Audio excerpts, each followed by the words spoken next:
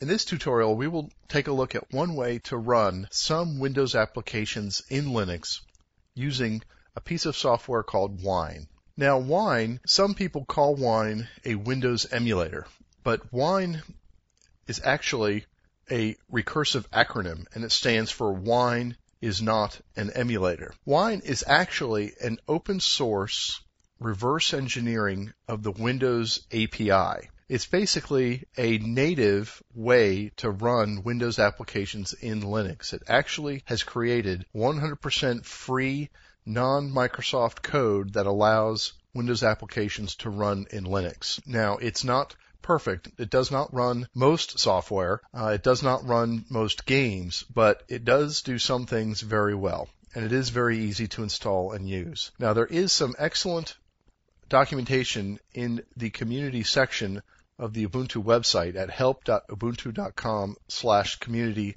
slash wine that explains how to use wine. But prior to using wine, one needs to install the actual wine software. And it's very easy to install using the add remove tool located in the applications menu on your Ubuntu system.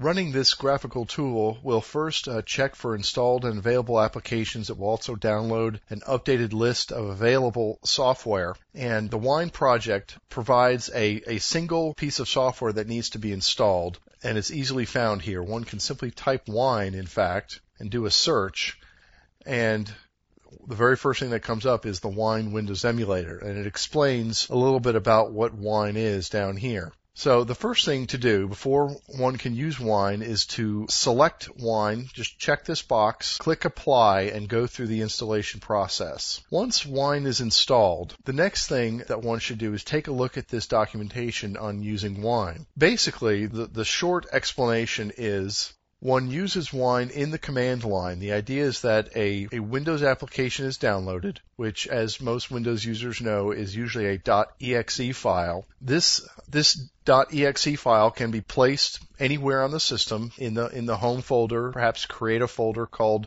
Windows Files or something like that. And the next thing to do would be to, as it is explains right here, is to open your terminal, which is located in Applications under Accessories and then Terminal and to type cd, which stands for change directory, and then the name of the directory. So let's just suppose that uh, there was a directory in this folder called Windows Files. So we would type cd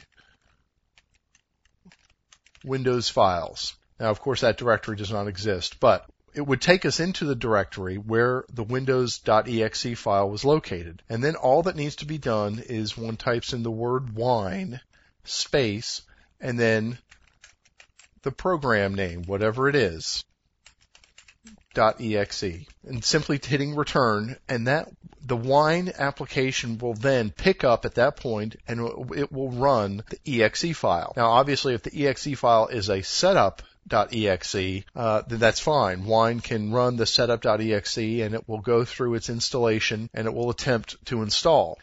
Now, practically speaking, sometimes using wine requires some, some tweaks and some tricks and some tips and things like that. And that's where this documentation and a few other websites are very helpful. I would first start with this Ubuntu documentation on how to install Wine, how to configure Wine. Sometimes Wine needs CDs and DVDs. For, uh, for example, sometimes a Windows application needs to access the CD, so there's a way to do that. There's an easy way to add the applications to the menu. Once it's installed and it's and it's running using this convention right here, one does not need to do that every single time. One can create a shortcut with basically that command, wine space program name.exe as the command that's run when the shortcut is, is pressed. So that's very easy to do, and all of that is explained right here. Two other websites that are very helpful is the Wine HQ, and winehq.org is the main website for the for the wine software. It explains about it, it explains what it does, how it works. It's very, very interesting on how it works. Again, it uses 100% non-Microsoft code. It's an open source reverse engineered process that attempts to, to make Windows applications run natively. But the nice thing about the Wine HQ website is it has a database the AppDB. appdb.winehq.org is a database that lists whether or not applications will work with Wine. And it's very easy to use. One can simply, on the left hand side, there's a navigation here. We can go to Browse Apps, and there are different categories educational software, games, multimedia, network, productivity, and the like. Some of these, for example, productivity, will have subcategories. Clicking on that will be taken to database, desktop publishing, finance, accounting, legal, law, office suites, and the like. And, and then the and then the productivity subcategories are below that, and one can see all the applications that are listed. And if one picks uh, an application, there will be notes or comments or perhaps some tips from other users on how to get that particular application uh, working well.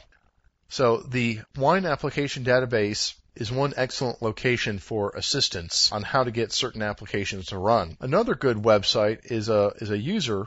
Uh, his name is Frank, and he's got a website called frankscorner.org. And frankscorner.org is his notes, basically, sort of the down and dirty how to do it, quick start guide, and he has a list of working applications here also broken down by subcategories. For example, one can go into Office, into the Office category and see He's got Office 97 and Office 2000. So if for some reason someone needs Microsoft Office 2000 instead of using OpenOffice.org, there's ex- there's explanations here on on how to use it, and it tells you exactly what needs to be done on how to get things uh, to work. And generally speaking, uh, the applications that work work very well in Wine. It's just that many applications do not. You can also see that he also has a list of some games. Some games do run with Wine there are commercial alternatives, uh, which will be the subject of another tutorial, but Wine does run some games. It does not run very high-end 3D accelerated games for the most part. Some, it, it might, but the latest games are probably not going to work with Wine. Wine is very good at some applications and some games, but both the Wine application database and the Frank's Corner website are both two good resources for tips and tutorials on how to get those applications to run. So I encourage everyone to check out the Wine project. It's an excellent project and it does work very well. Uh, and with that, that's the end of this tutorial.